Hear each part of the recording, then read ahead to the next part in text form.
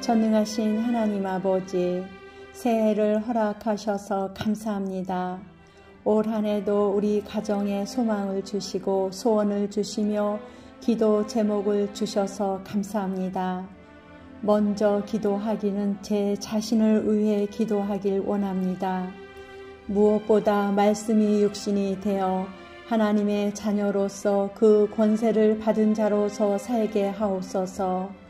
우리 주님이 나의 선한 목자가 되셔서 쉴 만한 물가로 인도하시고 푸른 초장으로 안내하시고 사망의 음침한 골짜기를 다닐지라도 해를 두려워하지 아니하도록 주께서 하나님의 막대기와 의로 위로하시고 안내하시고 아니하시는 그 은혜가 저에게 임하게 하옵소서.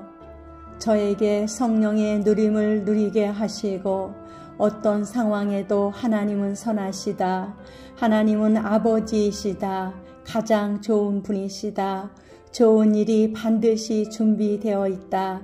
그를 찾는 자에게는 반드시 상이 있다는 것을 잊지 않고 믿음의 반석 위에 굳건히 서게 하옵소서. 우리의 자녀들도 이 믿음의 반석 위에 서게 하시고 친히 하나님께서 예비하시고 준비하신 모든 성령의 선물과 누림을 누리게 하옵소서. 우리 가족이 노아의 가족처럼 구원의 방주 안에 거룩의 단계에 들어갈 수 있도록 인치시고 축복하여 주옵소서. 하나님 아버지, 우리 자녀들이 성령을 받아 계속 성령님의 지배와 성령님의 인도를 받게 하옵소서. 마귀 사단의 육체의 일, 육신의 정욕, 안목의 정욕, 이생의 자랑, 먹음직, 보암직, 탐스러운 것에 아담과 하와처럼 넘어가지 않고 세상 사람들처럼 더럽고 타락하고 음란하게 살고 회개도 안 하고 그렇게 살지 않게 하옵소서. 지금은 너무 중요한 때이기에 우리 자녀들이 거룩한 삶을 살기 위해 예수 그리스도를 굳건히 붙들고 그분의 인도하심을 받게 하옵소서. 우리 자녀들에게 성령의 빛이 들어가 모든 것에서 하나님의 빛을 발하게 하옵소서. 자녀들이 십자가에서 그리스도와 함께 옛사람이 죽고 다시 새 사람으로 태어나는 성령 세례를 받아 사단 마귀가 자녀들을 지배하는 것이 아니라 자녀들 안에 그리스도의 영, 거룩한 성령님이 자녀들을 지배하여 주옵소서. 우리 자녀들이 자신의 욕심, 자신의 생각, 자신의 방법, 자신의 고집대로 사는 것이 아니라 무엇이든지 성령님께 물어보게 하옵소서. 자녀들 안에 성령님이 계시고 그리스도의 영이 함께 하시고 예수님이 자녀들의 친구가 되시고 구원자가 되어 주옵소서. 성령님이 자녀들 안에 계심으로 말미암아 날마다 성령의 인도함을 받고 그리스도의 거룩한 영의 새 사람으로 살게 하옵소서.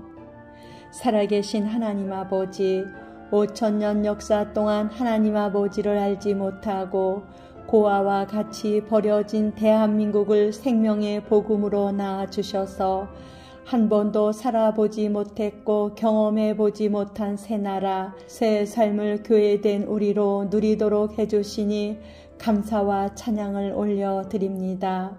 주 하나님, 지금 대한민국은 공산주의 사상과 하나님의 창조 질서를 위배하는 동성애와 젠더 이념, 사회의 각 영역과 가정, 교회까지도 하나님을 대적하고 세상에 썩어질 것을 따르도록 유도하는 차별금지법, 평등법, 생활 동반자 관계법 등의 불이한 법들을 통과시키려고 기회를 호시탐탐 엿보고 있습니다.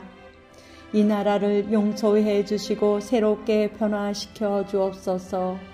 기독교 입국으로 세워진 이 나라를 든든히 파수하지 못하고 하나님의 말씀과 기도로 모든 세대 간의 주의 오실 길을 더욱 확장하지 못한 우리를 용서해 주옵소서. 잠자고 침묵한 교회들을 용서해 주시고 교회된 우리의 죄악을 예수님의 피로 깨끗이 씻어 정결케 하시고 새롭게 일어나도록 힘주시고 도와주옵소서. 예수님이 채찍에 맞으셨기에 대한민국은 나았음을 선포합니다. 사랑하는 주님, 이제 한국교회는 깨어 밤낮으로 이 나라와 영혼들을 살리기 위해 겸손히 주님께 나아가겠습니다. 이 나라와 가정을 향한 악한 자들의 모든 괴계를 멸하며 이 나라를 기독교 입국으로 세우신 우리 하나님의 뜻을 이루도록 주님과만 연합하겠습니다. 2024년에 나라 안팎으로 또 가정 안에 많은 열매를 맺으실 주님을 기대하며 찬양합니다. 우리의 능력이 되신 예수 그리스도의 이름으로 기도드립니다. 아멘.